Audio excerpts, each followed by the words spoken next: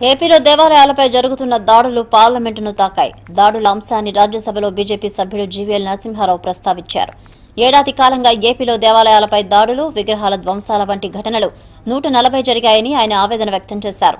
అంతర్వేదిలో రథదగ్ధం రామతీర్థంలో రాముడి విగ్రహం తలను తొలగించడం వంటి ఘటనలు జరిగాయని చెప్పారు. ఇంత జరుగుతున్నా వైసీపీ ప్రభుత్వం నుంచి సరైన స్పందన రాలేదని విమర్శించారు.